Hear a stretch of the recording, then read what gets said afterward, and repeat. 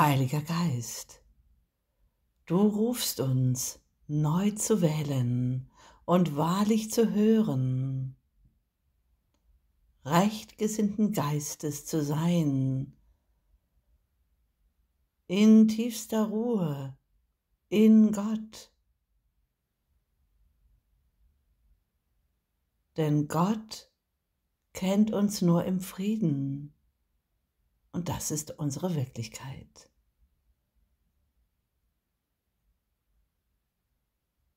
Es sind Gottes Gaben, die auf unserem inneren Altar leuchten und gegeben werden wollen, geschmückt mit der Blume der Vergebung, der weißen Lilie, die sich so mächtig in voller Blüte offenbaren möchte.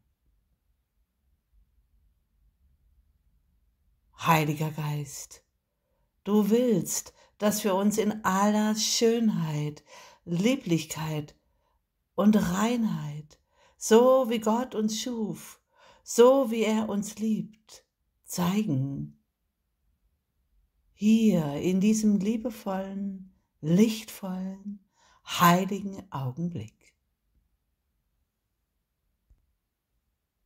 Wir wissen nicht, wozu irgendetwas dient. Es dient zu unserem Besten. Denn Gott ist unser einziges Ziel, ist Tatsache, ist Ursache.